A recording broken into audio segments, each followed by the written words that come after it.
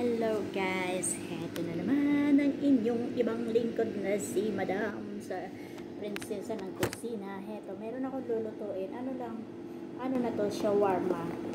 Isang beef. Baga paiinitin ko na lang siya. At saka isang chicken. So, ito yung at So, paiinitin lang natin yung ating tinapay. Ito yung tinapay. Ayan, yung tinapay na paglalagyan ng shawarma. Ito na yung mga tomato, pilpil, green chili, sauce. Ayan, meron chili, tsaka butter. May lettuce and then, ano tawag ito?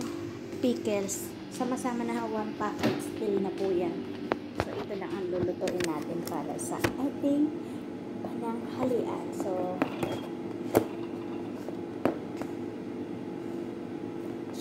Chicken. Kumain natin ang ating chicken.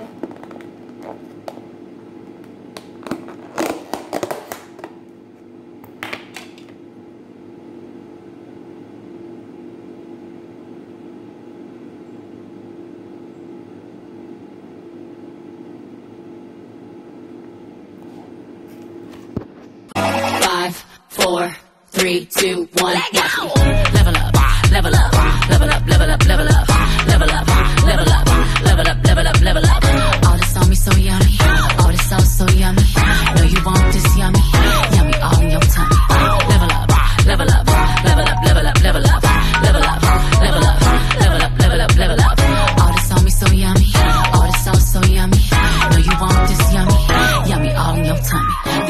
drop like